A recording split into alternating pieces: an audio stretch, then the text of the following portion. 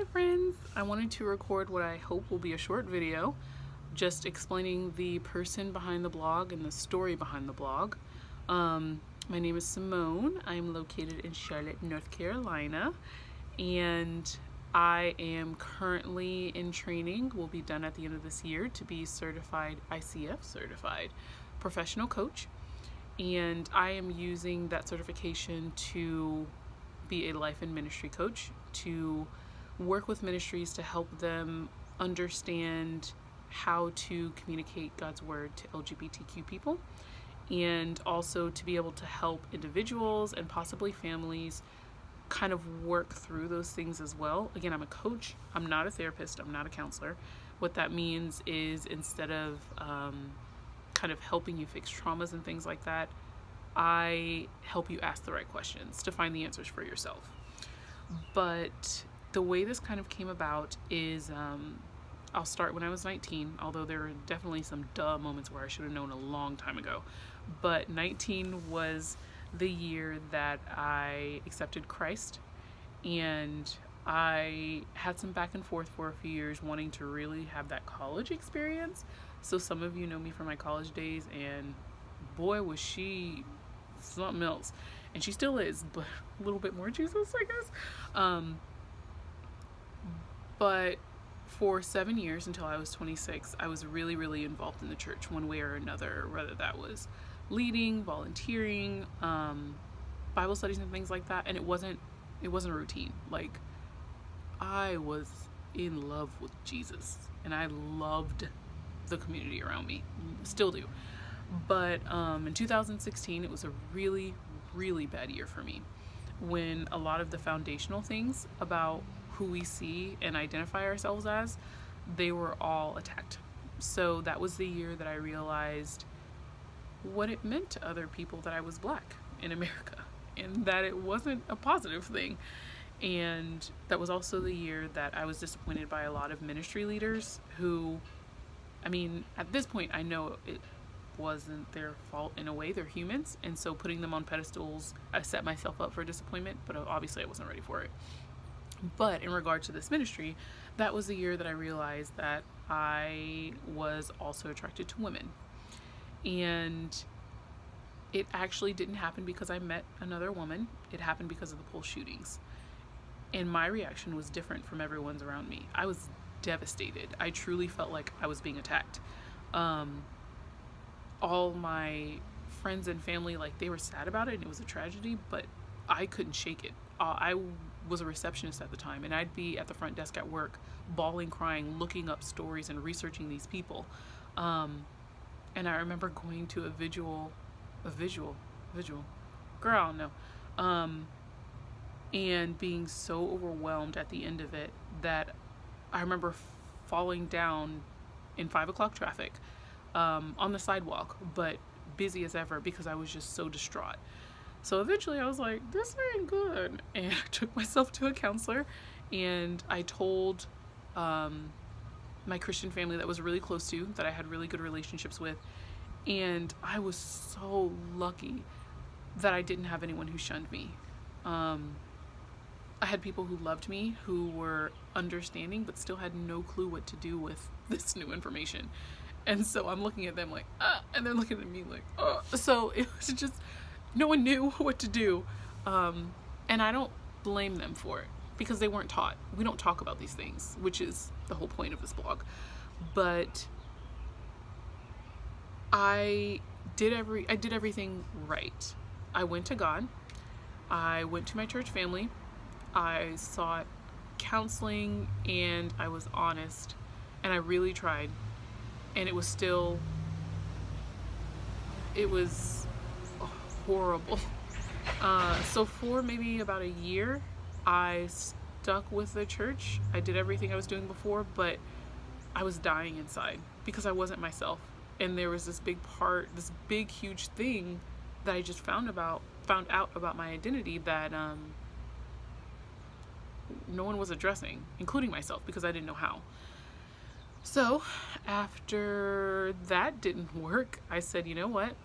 I gotta, I, I can't do this. I have to go and see if I can find the answers elsewhere because I'm not finding them at church. I'm not finding them with God. My faith wasn't big enough to handle that. It wasn't mature enough. Um, so I went off on my own. I have some good memories from that time and I have some good friends from that time. But all in all, I still wasn't myself because there was, I was leaving one important aspect of my life, my faith, to go to another as- aspect of my life, my sexuality. Um, so there was never any peace. I, I looked and I made my life real loud. I found every distraction, went everywhere I felt comfortable going to see if I could find that peace that I was looking for. And um, like I said, didn't find it. And like many other people, COVID hit. And that's when you got to sit down and really think about what's going on. Wasn't fun, but God finally got me in a place. It's so loud, I'm so sorry. God finally got me in a place to where I kind of had no choice but to listen. And I'm so happy He did. There was a lot of wrestling back and forth. And one of the questions that I can remember, well, actually, not really a question, but the conundrum that I can remember breaking my heart over and over again is that I understood that um, I didn't choose this attraction, but I chose to be a Christian. So I have no choice. This this life away from God was chosen for me. Um, I'm disqualified. And there were moments um, like I can remember one particular night where I couldn't sleep because I was just wrestling with the understanding that either I have to be single for the rest of my life or I have to live in uh, disappointing my family and more importantly, much more importantly, being separate from God by being with a woman. And truthfully, I said, I'm not going to be single for the rest of my life. So this is it. And um, I begrudgingly made that decision that this is the life that you're gonna live, Simone. So just find a way to just deal with it. Um, but God just said, just talk to me. Let's just talk about it. And so I talked. I was very angry. Very, very, very angry. How could a loving God do this to me? After I've already committed my life to you? Like, this isn't hey, I'm trying to get you over. No, I'd already committed my life to you.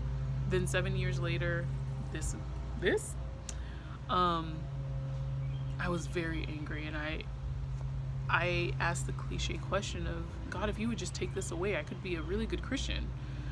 And eventually, when I was willing to listen, God very clearly led me to understand that I don't want to take this away from you. I want to use it this isn't um, this isn't a weapon against you. This is a weapon for you. And I didn't know what the heck that meant uh, but oh, it's gonna pass. It's gonna pass. It's gonna pass. It's gonna pass. It's gonna pass. It's gonna pass. It's gonna pass. It's gonna pass. It's gonna pass. So um I didn't know what that meant but eventually I said, okay, if you say so, like, if you say you can use this gayness, let's do it. And uh, wasn't quick, but eventually I got to the place where God said, I want to use this to bring other people to me. What you thought was going to kill you and take you away from me is what I want to use to bring people to me. Um, so it's been months and months and months, just about a year now, where I'm like, okay, God said He wants to use this to bring people to Him. I don't know what I'm doing. Um, but about three weeks ago, He said, I want you to start a blog, which I was not happy about because I was hoping and praying that He'd bring people to help me because this is a lonely place to be. I have a lot of supporters, a lot of loved ones, but they're on the sidelines and that's where they're supposed to be. This is not their calling, this is mine.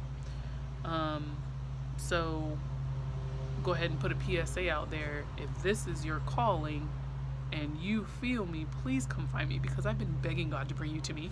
Um, and there's also a lizard, but also, um, so here, that's where this blog is. And God blessed me with opening my heart back up to men. And I do believe He's going to bring a hell of a man, and yes, I mean a hell of a man into my life where He can deal with all this.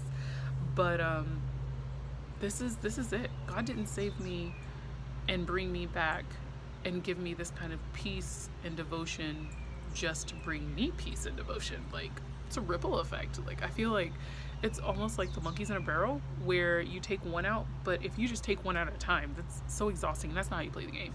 You're supposed to get as many monkeys as possible. And I don't care how homophobic you are, I'm about to open up the gates and bring as many people as you thought was going to hell to heaven as possible.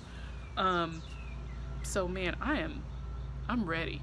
Enough crying, enough pain. Like he is about to use it to bust open the gates of hell that has had a hold on all these people who love Christ but find themselves with same sex attraction. Like, God is for you.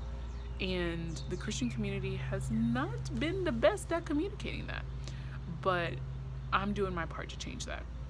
I want to help the people who who find themselves in the gap between their faith and their sexuality and they don't know what that means. And I also want to help the people who want to help the people in that gap but just don't know how. So we're in this together or I'm in this alone, but I'm in this and it needs to be done. And this is how we're going to do it. Thank you.